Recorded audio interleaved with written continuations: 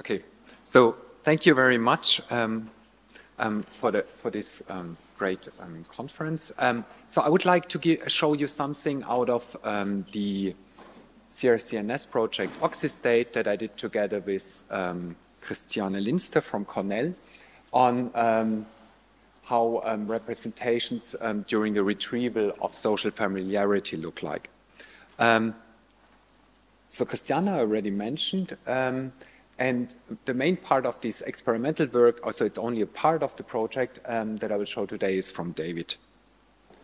Um, we're dealing with a, a, very simple behavior that has been extensively used in behavioral neuroscience over many decades, and that is um, you meet, one mouse meets or another rodent um, meets um, another one, um, and then it should remember it so when it encounters it. And, and there is a behavioral tendency, if you know an animal, you will explore it less.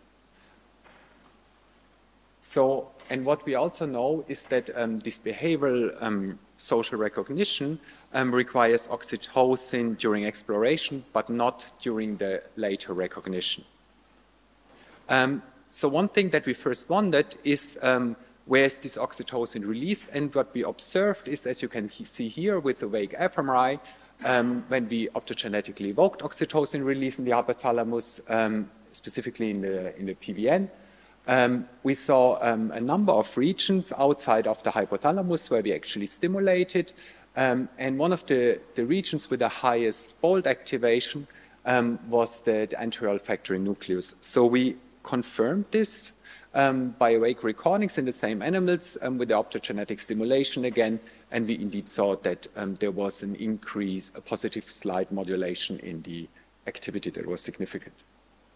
Okay, so then another thing what we had um, also observed was that when we selectively knocked out oxytocin in this anterior olfactory cortex, um, the, these animals did not, could not remember um, the other one. At a behavioral level, one has to say.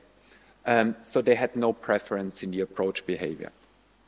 Um, what we had done already in this past paper was um, that we could clarify how one, one pathway, how oxytocin modulates the olfactory processing um, via top-down glutamatergic projections onto interneurons, and then it modulated the um, odor responses with an increase of signal to noise.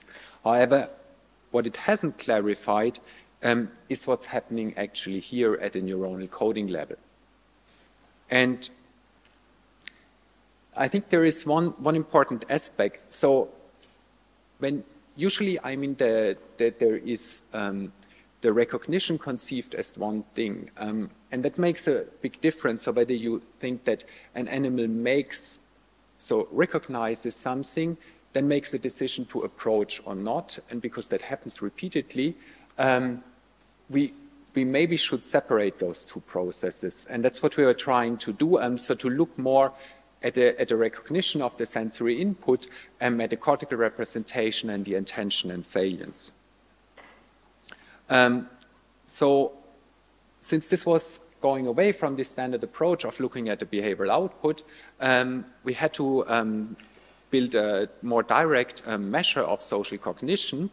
And then with the second goal um, to um, examine the type of memory. So we, based on this habituation with the lesser exploration, we had built a model, a biophysical model, together with Christiane that we published where we showed that it could be actually, because it's an intermediate length duration memory, that um, you have a habituation process, maybe no other responses and due to these repeated exposures, and then it comes back over time. So, and that's the, the memory.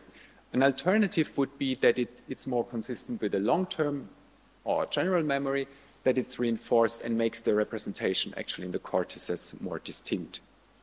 Um, to do so, um, we, um, we built an approach um, to, to once look at stimulus identity and then also this feature like strain or familiarity that could be also generally used. And the way we did it is that we put little um, box, um, built little boxes where we, um, that were sealed where the animals were sitting in after, for instance, an exposure.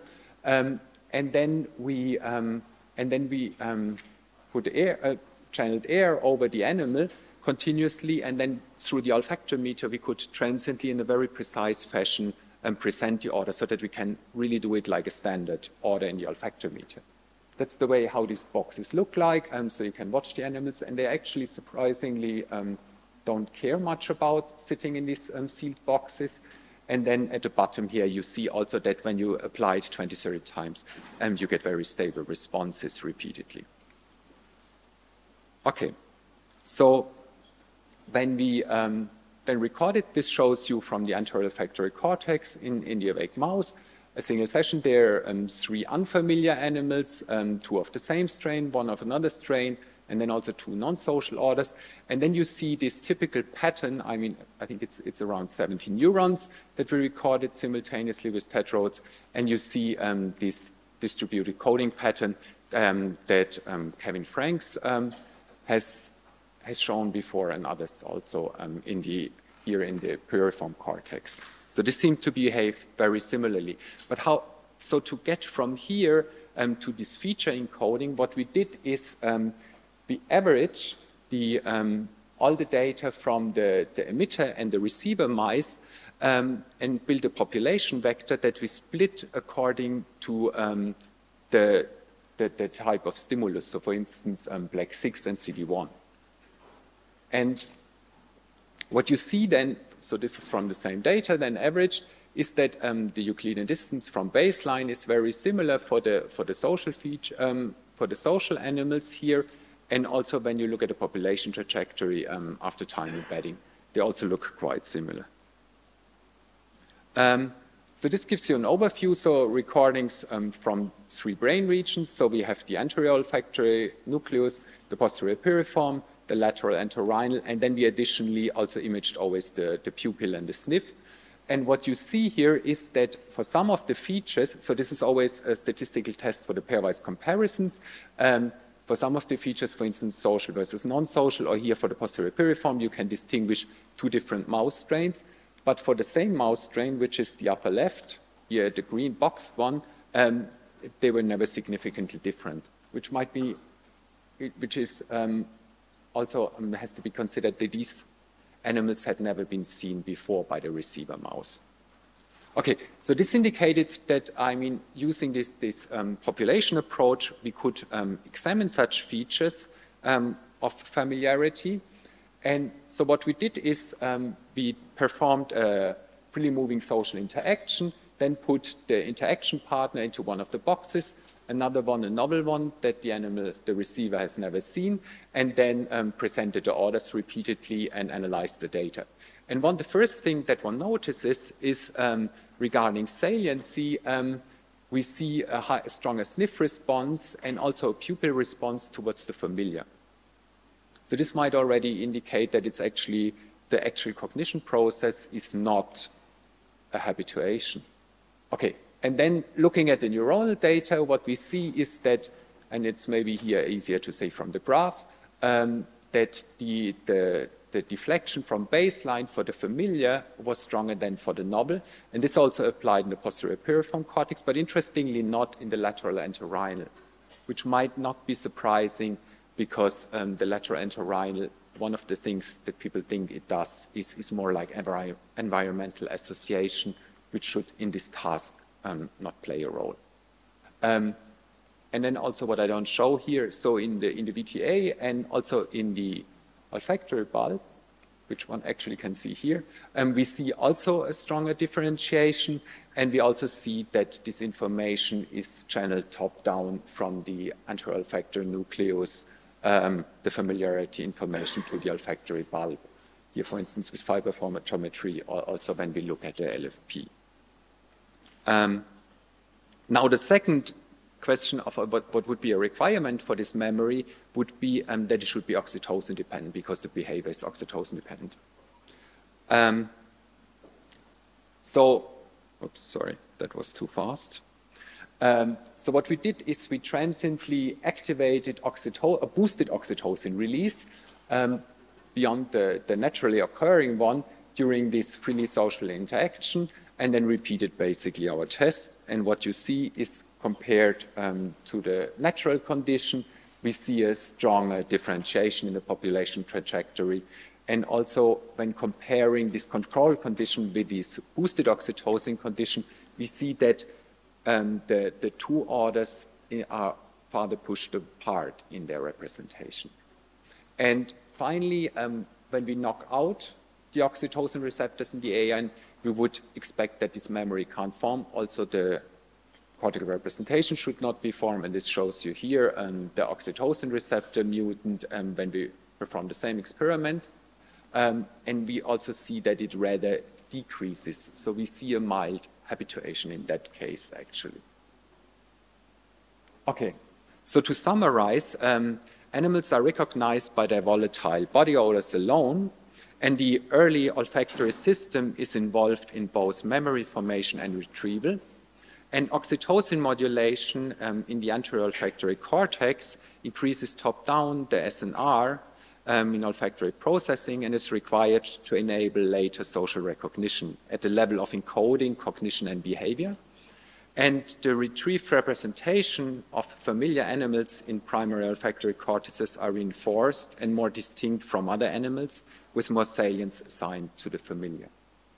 Um, and I think the, this approach with these little boxes um, to, to, more directly study the cognition um, can, be, can be used quite broadly. So for instance, one thing that we are doing currently a lot is, so we built these um, non-invasive sensor-rich maze where we can monitor um, reversal learning, um, social hierarchy, social interaction behavior, and then take the animals that live there for roughly six months intermittently and put, and where we can track each individual, and then put them in, in, the, in the scanner um, where we perform in the awake um, experiments that involve social cognition, where they are presented, for instance, by animals they know which which they had experienced before. Okay, and with that, I would like to close. Thank you.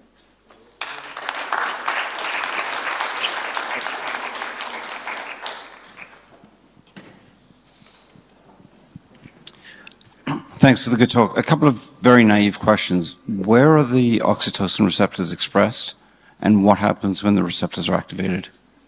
Um, what cell types do you know? So in the AON, um, it's the it's the projection. So we did what we did uh, is, is in, in the past we did uh, CUF-free um, retrograde labeling, and then we see that it's in the the, the receptor is in the in the um, probably in the projection. So it, it must be project glutamatergic projection neurons. So it's glutamatergic neurons. In the amygdala, it's interestingly different. There, there it's more in neurons. And your second question? What, what is the effect of activation for receptors? Um, we see an, a, a, shift in the rheobase base so that they are more prone to spike. I mean, that's what we, so we did rec um, recording, patch clamp recordings before from them. Um, thank you for the talk. Have you looked at the are possible applications, I believe, both for schizophrenia and autism spectrum disorders because of the extrapyramidal cells and the oxytocin uh, and social approach. Have you looked into the uh, applicability and for those two disorders? Yeah, so we, we looked, we, we did, um, two years ago, we, we had a study where we looked at a bidirectional, um, so uh, it, was, it was a humanized mutant um, for, for Shank overexpression that was interesting because it has a bidirectional effect on whether it increases or decreases the, the sociability, whether over you overexpress the mutant or the, the truncated version or the wild type. And there we recorded from the AON, and there we saw matching increases that um, the signal to noise dropped um, for the lesser sociability, but it increased for the for the for the overly normal um, or more than normal um, sociability. Okay. let's thank Wolfgang. Thank you.